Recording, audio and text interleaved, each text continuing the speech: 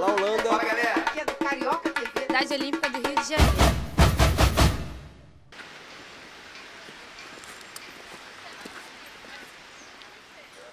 Meu nome é Gustavo Spinelli Jaique. Estamos aqui na Sociedade Hípica Brasileira, no Rio de Janeiro. Comecei a montar aos 12 anos e sou profissional de hipismo. O cavalo, para mim, ele faz parte da minha vida. É, não consigo ficar sem. Meu sobrenome Spinelli é um sobrenome italiano. Né? Eu, a minha família lá atrás vem de Verona. É, o Brasil foi um país construído por, construído por imigrantes, né? Por, então acho que por isso que o Brasil ele tem uma coisa muito legal. O Brasil ele tem de tudo um pouco.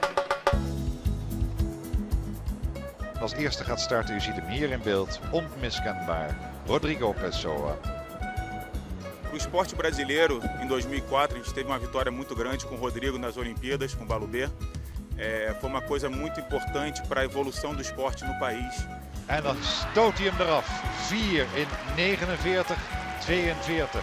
Medalha de prata. O Rodrigo acabou ganhando a medalha de ouro, porque o Conor foi pego no doping. É uma coisa que eu acho difícil de acontecer de novo por um curto prazo, porque o, é, hoje em dia o esporte é muito voltado é, na, no, no, cuidado do animal, então as pessoas estão tomando muito cuidado em relação a doping, em relação a isso tudo.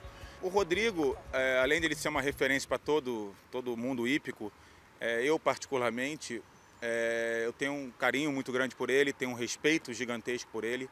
É, já montei com ele durante um tempo nos Estados Unidos. É, tenho muita referência também com o pai dele, um, é um grande amigo. É um brasileiro nascido fora pela circunstância da vida do pai dele, que morava lá, que foi construir a vida dele lá, e o Rodrigo nasceu lá, mas ele é brasileiro e vai ser sempre brasileiro.